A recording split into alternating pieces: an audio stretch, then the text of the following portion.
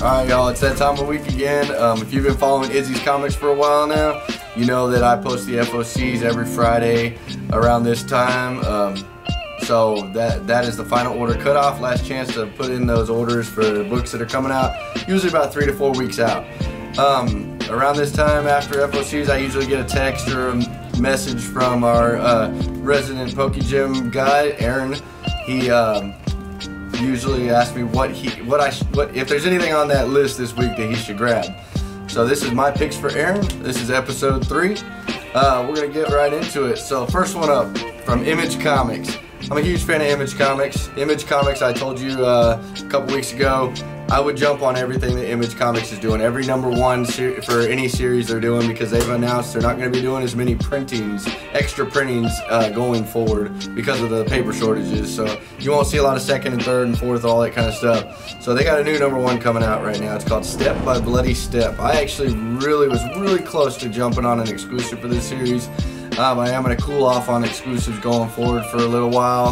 Um, this one is it's a very um, it's different okay? So it's it's all about the art which i if you've read strings strings didn't it didn't have a lot of words but i gave enough words to fill in the blanks. Um, but this one is kind of like that. It's a silent comic. There's no words in this comic. But it also plays into the storyline okay? So this is about an armored giant and a child uh, that are basically they're stuck with each other and they're walking the world. It's a dangerous world too. There's beasts and monsters and stuff that they have to fight along the way. And if they ever try to leave that path or whatever that they're walking on, the world says no and it stops them and makes them, get, you know, forces them somehow back onto the path. Um, and the way that the silent thing works is they're not a, if they try to ask questions they can't. They have no language there's no memory of anything. They have nothing basically. So the, the silence of the comic is also the silence of them.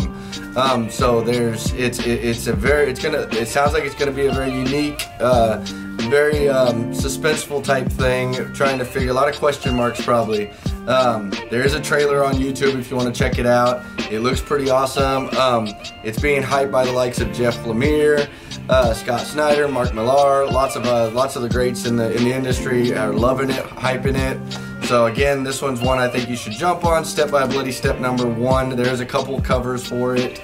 Um, I know there's a couple exclusives.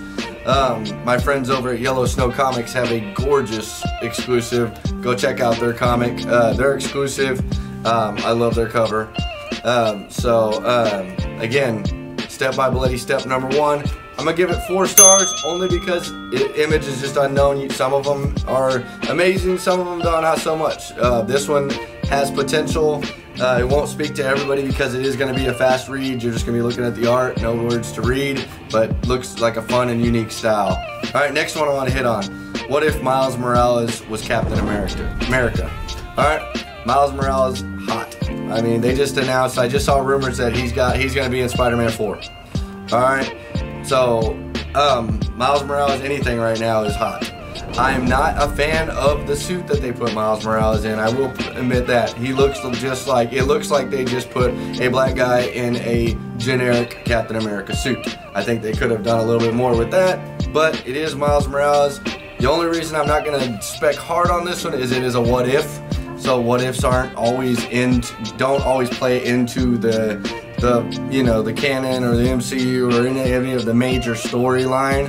So if this is just a what if one shot thing, there's not a whole lot to spec on other than it just being cool and Miles Morales and we'll hit a vision of them, a vision of him as Captain America. So again, I'll, do I'll do three on this one, uh, three swords, just because like I said, there's there's no no guarantee on this one other than the fact that it's Miles Morales, a number one. Not not doesn't hurt to grab anything with Miles Morales right now. Um, next one I want to hit on Strange number one. Okay, this is the new. Uh, you just we just had the death of uh, Doctor Strange, so now we have Clea is going to be coming is going to become the new uh, Sorceress Supreme. All right, so the reason I'm specking on this one is they've already announced that there's going to be some new characters in, involved in this storyline. We got new villains coming for sure. I don't know if issue number one's going to have those new villains. They didn't say that. Uh, but it is issue number one. It's her first solo story as the new Sorcerer Supreme. She is trying to figure out a way to bring back the original Doctor Strange, of course. But until she can do so, she's taking the mantle and protecting the world as the new Sorcerer Supreme. Um, so there could be first appearances in any of the issues in this series going forward. So I'm gonna go with a five on this one, five swords, just because it is it, it has a lot of potential. Um, and you see the MCU right now is changing over the mantle, the color of the guard basically, in all of the movies. No telling how long Benedict Cumberbatch is gonna stay stick around. Um, I love him as Doctor Strange, but if they end up if he ends up saying he wants to call it a day, uh, they could introduce her in the in the MCU as well.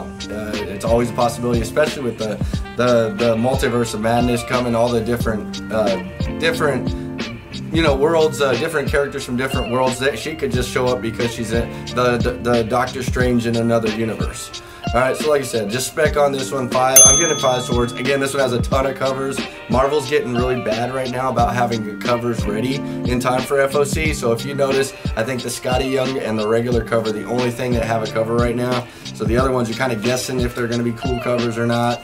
Um, so um, don't know what about that as far as covers, but just grab it if you like an artist that's attached to one of the covers. Could be good. So again, five swords, a lot of potential here. Um, next one I want to hit on. Okay, so this one isn't a, I don't want to spec on this one, but if you are a werewolves, vampire, supernatural, um, story, horror comic type nerd like I am, that's a, one of my big things I love vampires, I love horror, like American Vampire Story is one of my favorite stories of all time. Anyways, Philadelphia. Uh, Killadelphia has been, it took a little bit of a break. Um, Killadelphia number 19 is on FOC this week. This is this is a new story arc for the series, and they're saying it's a good point for new readers to get involved in the story, just in case you don't want to go back or you have no way to go back other than like trade paperbacks to to read Killadelphia. You need to check this one out. Okay, so Killadelphia is awesome. It is a very dark story. Um, it is werewolves, vampires, and the supernatural, of course. Um, it has the the writer is Barnes. Uh, he writes. Uh, he's wrote TV shows, Marvel's Runaways, um, Starz American Gods. So there's a good chance he's writing this story to be something as well. So Killadelphia has been selling out. It's been a hot book for a while now. The artist is Jason Shawn Alexander, who does uh, Spawn, one of the one of the interior artists and cover artists for Spawn. Um, so this is a major, been a major book for a while. Um, there have been some amazing covers for this series as well. Uh, a lot of hot covers. Todd McFarlane's done some covers that were that did really well. This one has a really cool cover B. Um, you'll see it. It's got it's like a werewolf looking guy. Uh, it, it's cool. I, I just tell you, it's a cool cover. Um, this is just a, a, a, pick of the week for me that isn't necessarily for specking on, but it, it is a good place for to get people into the series now that uh, it's coming back strong again. Um, so again, do three. This isn't number one. It is a new story arc, but not number one of the series. I'm gonna do three swords on it, but it is a it is a favorite of mine, and I think it should be something that people are checking out. If you can, go back to number one and start reading it. All right, last one I want to hit on is the artist appreciation of the week. I love to do an artist appreciation. I pick one cover every week that I think that you should look at. The, the one I want to hit on this week is the Department of Truth number 16. I don't need to help you out with Department of Truth at this point. We all know that it's one of the hottest series. It's going to have a TV show or a movie someday. Um, but Department of Truth 16, cover B, the variant, is done by Alison Sampson. If you look at it, super beautiful cover. Really bright colors, almost reminds me of like a Woodstock feel, uh, Woodstock poster. Um, so definitely check out Alison Sampson's cover B for Department of Truth. I'm not gonna sort this one because it's a, it's just my artist appreciation. Nothing to spec on, um, but love the cover. All right. Again, this is my picks. I, I, would like to tell you all there are plenty of other options out there. I know there's other Facebook channels, other YouTube channels, other people you can get your information from. So this is just my opinion of what you should pick up this week. And there are a lot more other things, but I'm not going to hit on all of them. So uh, um, this is my picks for Aaron. Hopefully it helps you all out. Uh, I'm going to just close by letting you know, just please like, subscribe, comment below so that we can um, we can make this thing keep going. All right, take care.